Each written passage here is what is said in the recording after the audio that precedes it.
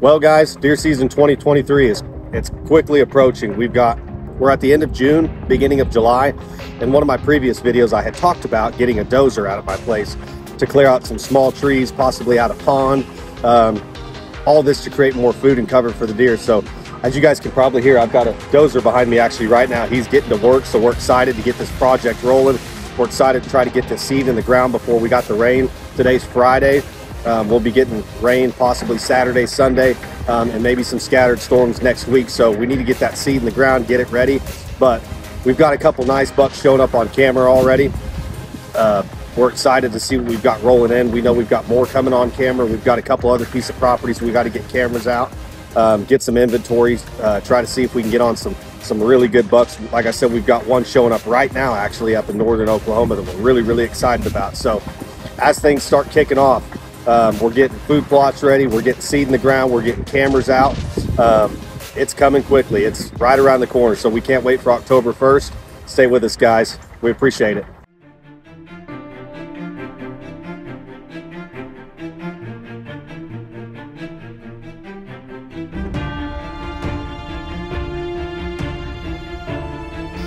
All right, guys, we got the dozer operator on the way. So he's gonna go back in the food plot and he's gonna go ahead and clear out pretty much all the trees that are back there. This is gonna make it to where we can plant more food. We're planning on planting corn and soybeans. Uh, we'll probably do about a half an acre of each and then we might do a little clover plot. So he will be here in about 20 minutes and uh, yeah, we'll be up on the dozer getting some stuff done.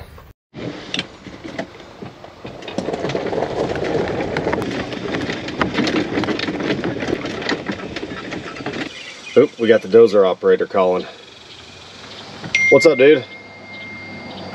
Hey, uh, will you bring your golf cart down here and block traffic so don't want to put some resistance in me when I come out of this? Yeah. Are you over there right now? Yeah, I'm sitting right here up in there. I just can't see left or right. I don't want to pump that blade up there. Yeah, I got you. That one's kind of sketchy. Yeah, I'll head over there right now. All right, I appreciate it. Yep, bye. All right, so we're headed over uh, across the street. I've got a buddy. Uh, he owns 10 Arrows Contracting. If you ever need any dirt work done, if you're in Oklahoma, they're a phenomenal company. But he's doing a project across the street from my house, and conveniently, he's got the dozer over there. So we are going to have him bring his dozer over to my house, uh, take it behind the food plot, and do some clearing. I'm hoping that GoPro isn't just rattling its brain because we are on a golf cart on a gravel road. And, it's shaky.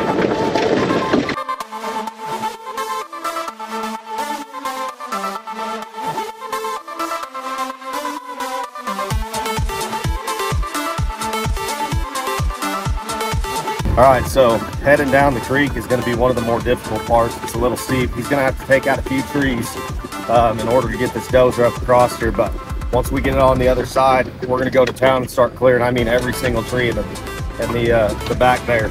Uh, right now I've got a little over, a, or a little under a quarter acre food plot, but um, this is gonna make it a little bit more like three quarters of an acre. So it's gonna be provide a lot more food and uh, I'm excited. So we're gonna hop off here and uh, kind of guide him down into this creek and see what we can come up with.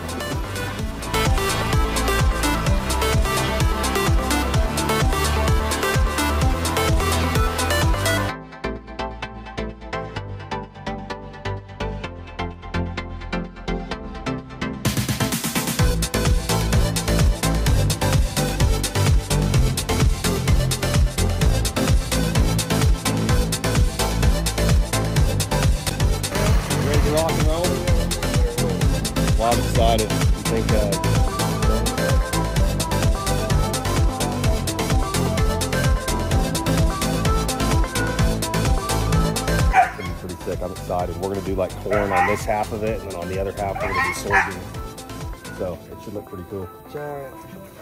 Yes, sir. We're breeding giants out here. Boy.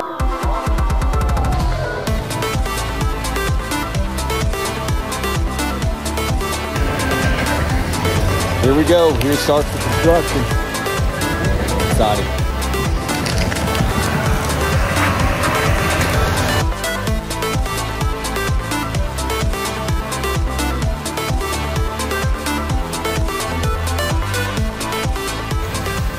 Wow, this is wild. We're literally taking all these trees out. I mean, it's happening. I'm gonna basically get him to shove all the trees as far as he can toward the creek instead of putting it into a big burn pile. I think that's really gonna make it a lot easier. That way I don't have to sit here and burn for two weeks. We've got rain coming Saturday and today is Thursday. So we're trying to get this stuff ripped up, get it done today, and then tomorrow we'll probably come over here with a tiller, get everything ready to plant, and we'll have the seed in the ground Friday night. So we should be in time for the rain.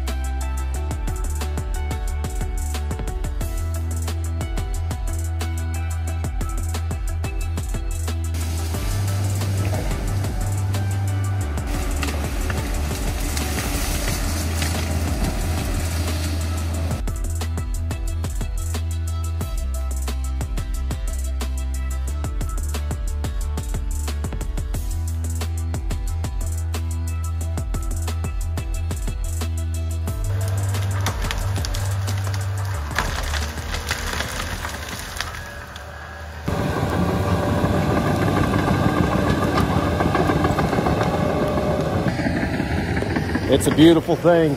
We're getting all this pushed back because there's more flat land before it dips down in there in the creek. We're going to utilize as much flat, the flat land as much as we can. That way we can stick the blind further back in there and bring the food that much further back here because you can see, you can see where my little food plot was here, the clover plot. And then we planted the sorghum here to kind of block, you know, us from going in the blind. Now we're going to push that blind even further back, which will bring the food this way a whole lot more. So that's the goal. Try to create as much as much room as much as we possibly can. We've got those five or six wheat fields right back there, just probably 150 yards, and they go for about probably three quarters to a mile back that way. So this clover does good, but when it comes to wheat, you know, when, when they start feeling any kind of pressure here, I mean, I just live, I just live right back there. So when they start feeling any kind of pressure here from me or the neighbors, you know, they're good, they're safe and secure back there by that wheat. Um, so yeah, we're gonna go ahead and do corn and soybeans. I think that's really gonna switch the game up.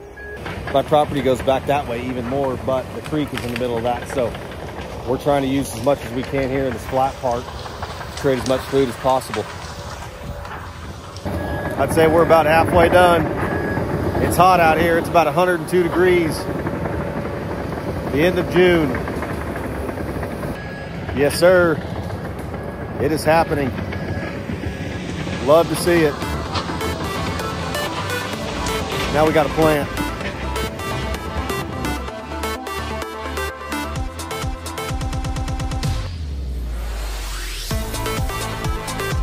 Ten Arrows Contracting. You can find them on Facebook, their website, tenarrowscontracting.com. They do a phenomenal job. They've got several dozers, big dozers, excavators, skid steers. They can do it all. Build pads, clear food plots out like this. They build ponds. Great company. Ten Arrows Contracting. All right, I just went to town and got something to eat. We're back. Let's see the progress, see what it looks like. Oh yeah, he's got a bunch of it cleared out. I mean, we're really getting somewhere now. It looks beautiful. That's the fence line right there. So all this will be planted in that real tall stuff. And then all this will be corn here. And then that whole section across that tree line, that'll all be soybeans. It's looking beautiful. Can't wait to get that stuff planted tomorrow evening.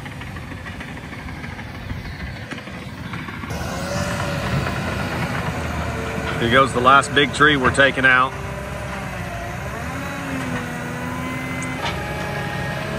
There she goes.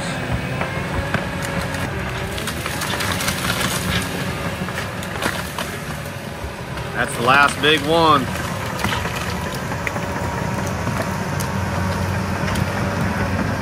Talk to uh, Raw Seed. They're going to hook me up with some hybrid corn seed. It's coated. I guess it's really good for growing. So we're gonna go down tomorrow and get some of that, and then I'll probably end up buying the soybeans off my buddy. He already ordered them, but he's not gonna plant it for about another month, so I'll just order some for him and take his. Might as well. We got rain coming this weekend, so I need seed. I could have been a little bit better prepared, but I uh, kind of a procrastinator. But this is looking beautiful. Absolutely beautiful.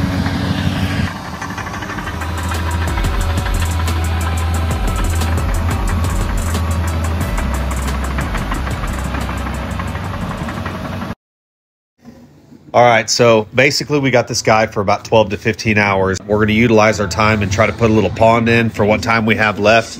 We're to go ahead and do a little bit more grading. He's to knock a few more trees out. And then, uh, yeah, that should give us about enough time to where we're to get the seed planted, uh, get the tiller back there, and get things wrapped up.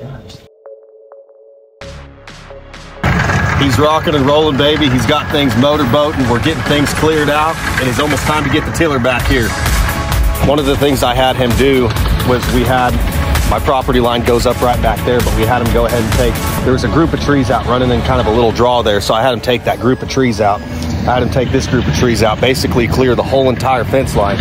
Um, so what we're going to end up doing here, instead of having just a group of trees that's doing absolutely nothing, uh, but taking up room, that's going to provide more cover for the deer. And we're potentially, if you can see this, there's a little draw here. I don't know how well you can see it. It kind of runs off into the creek, but we're going to potentially take all this dirt and push it back to make a pond. So we have this natural, natural little hole right here that's kind of going down in toward the creek, but it'd be a perfect bowl to basically take up take some dirt and push it around there, dam it up kind of toward the fence line, and make a little watering hole. We'll put a liner in it and fill it up with some dirt. And like I said yesterday, I've got a hose that can reach this, so I'll be filling it up with with a hose. It'll be more or less a mosquito hole, but it'll also create uh, a pond, a natural pond for the deer, and hopefully that'll enhance them coming back here that much more. So, yeah, we've got some exciting things happening. I'm excited to get some water in this puppy. He is just going at it. deer season 2023 might be the most exciting one we've had yet. Well, I just got done talking to the dozer operator, old Ryland. He's to start getting on this pond. I think what we're to do is try to make it small. Uh, but we've got some, the water naturally flows this way. So he's to try to kind of create a spillway over here. That way the water kind of starts to wrap around and possibly go in the pond. That would be the best bet. He's to work on it and see what he can do. But I'm excited to get this thing rocking and rolling. Hopefully we have a pond by the next couple of hours and we'll get the other tractor back in here and start doing some tilling.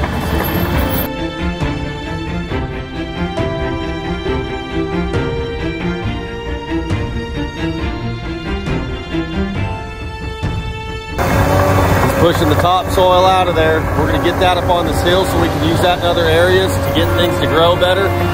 See if we can find some good red clay down in this hole to get that water to hold, but I'm gonna put a liner in it anyway, so it doesn't matter.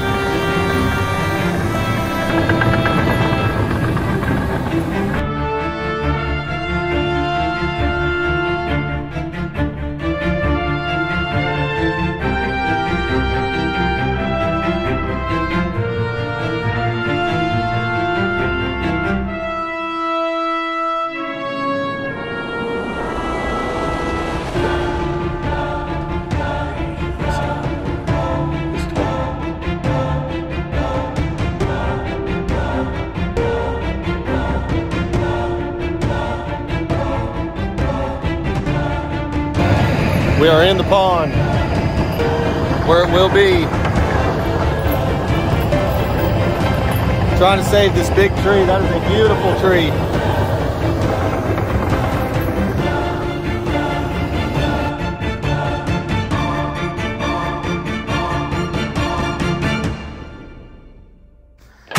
So, you know, when you're getting a pond built, you want to make sure that you hire the right contractor at 10 Arrows. I mean, they really go above and beyond. They make sure to pack the dam really good. They make sure that there's a good clay base for the water to hold. I mean, they really make the pond beautiful. When you're hiring a contractor, you want to make sure that they do what you want them to do. 10 Arrows really goes above and beyond. They make sure to come out and give you a free estimate. They build the pond that you want. I mean, they make sure it's absolutely beautiful, that it holds water. I mean, they do a phenomenal job. I mean, I really can't say enough about this company. I mean, they came in, they got this project for me done in the timeline that I needed it done in. Very quick turnaround. They got it done in a day. I mean, just phenomenal to work with. These guys are great. Wow, so really hard decision. I've contemplated not taking this tree out, but we've got persuasion here. It's really doing me no good. It's a beautiful tree, but it's gonna, I think it's gonna create too much shade and I think we're just gonna get rid of it.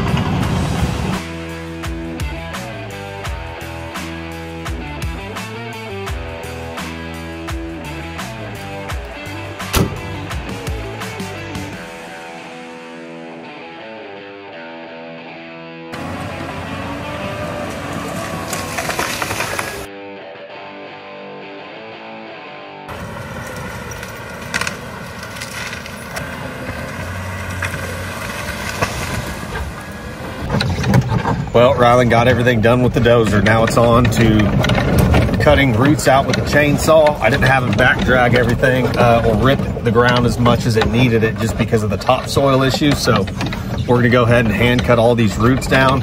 And then I've got my buddy Will back here and he's gonna get everything tilled Hillary Clinton. And uh, while well, we're trying to keep batteries from falling off here. Um, but anyhow, yep, we've got our work cut out for us. We're gonna try to get this stuff planted. We've only got a few hours, so Here's to nothing.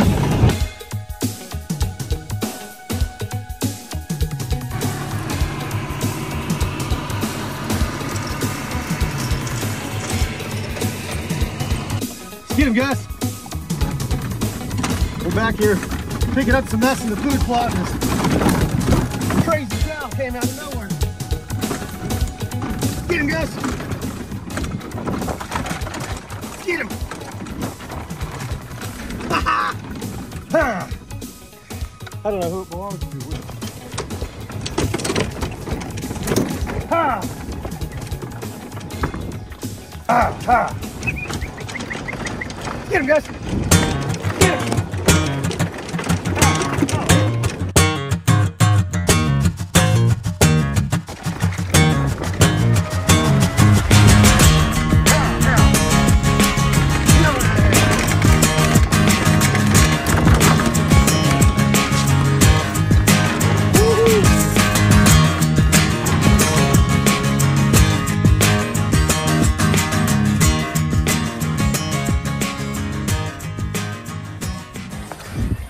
Well, guys, I'm sitting here. I've got a, uh, a harrow that we bought. It's a, uh, it's basically a drag that you you know it should pick up all the debris, kind of smooth the plot out, get it ready for the seed, but it's not working. So I called my buddy up. He's got an attachment. It's a soil conditioner, and he's going to come over um, hopefully tomorrow or Monday at the latest. Today is Saturday. Um, we're postponing the project. We actually didn't get the rain that we were expecting, so that's good because I didn't get any seed in the ground. It's actually taken a little bit longer than I expected. However, um, when my buddy comes over tomorrow, he's gonna take and soil condition all this. We're not gonna use the harrow, and I'm excited about that because this was gonna take me probably a good half a day to a day to get this harrow and drag it all over the place. In the meantime, we're gonna go ahead and put the put together uh, an extension we bought for the Muddy Bull blind. It's another five feet, um, so that'll get us another five feet up higher. That's gonna be really exciting. Then I'll have my buddy come over tonight um, and yes, I have a lot of buddies, but I'll have my other buddy come over tonight, the one that came over with the tractor yesterday, and he's going to move that muddy bull blind, probably position it right there. That'll give us about a 30 to 35 yard shot to the pond, and it'll pretty much, it'll kind of put us more in the, the, the general area to where we might have a little clover plot there. We'll have the soybeans out here, and then we're still contemplating whether or not we want to do that and corn back there or do that soybeans. But putting that, that blind over there is going to put us in a good position, I think, to get uh, a variety of shots between the pond, the soybeans, and possibly some clover. So, yeah, that's that's where we're at now. So my buddy that has the Harley rake, he comes over. He's got this uh, attachment. It's a stump puller, and you know I've been here for about three years, and just trying to get stumps out of the ground has been I've never had somebody come out with a stump puller, so it's always been a big issue. So we get him over here, and I mean, he gets this attachment out and starts going to work. And boy, it was satisfying to say the least, just watching all these stumps getting pulled. It was great.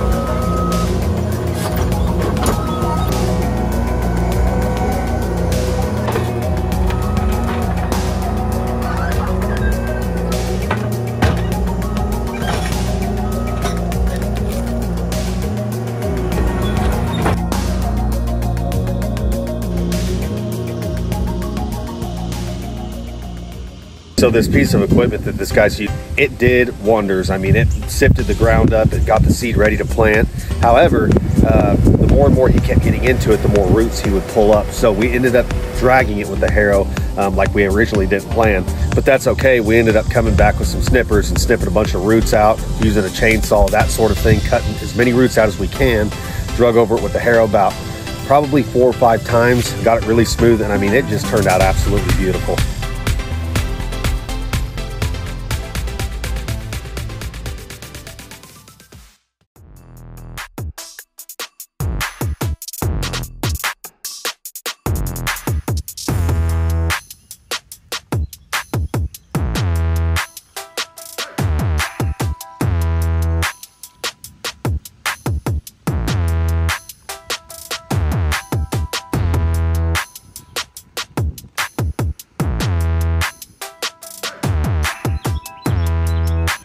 Well, guys, that wraps it up for this one. Um, we hope you enjoyed it. Uh, we've worked really hard to try to get this stuff out to you guys as soon as possible. Um, and also wanted to just kind of walk you guys through and show you what you can take, you know, with, with a small uh, piece of property. You can take it really do a lot of things with it. We got the seed put in the ground and we'll do a couple more follow-up videos throughout the rest of the summer as the stuff continues to grow. Um, hopefully we get another good rain to get the seeds germinated really well. We've got 14 to 18 foot tall sorghum that we've got planted back there right now. Uh, that's going to create our cover, our wall, and then we'll have, we're probably going to end up doing corn just to create that much more cover. Uh, like I said, for where the trees, for where we eliminated the trees. Um, and then we've got soybeans for food. So you can have a small food plot. Sometimes those work good. Um, in our case, we wanted to add more food uh, and eliminating the trees that we took out. We had to come up with a plan uh, to create some more cover. So, you know, you can do things like add more food and add more cover um, to hopefully enhance the deer coming to your property all the more. A pond that we added, that was another thing that was cool. Um, so yeah, there's always little things that you can do um, to help improve your deer hunting on your piece of property, even if it's really, really small. So again, guys, we hope you enjoyed it. Um, we've got more content coming your way. Um, we're pushing out some more videos. We've got some uh, some more interesting stuff happening up in northern Oklahoma. We're still working on this lease uh, in my hometown. Uh, so stay tuned, guys. We've got more coming your way. We appreciate it.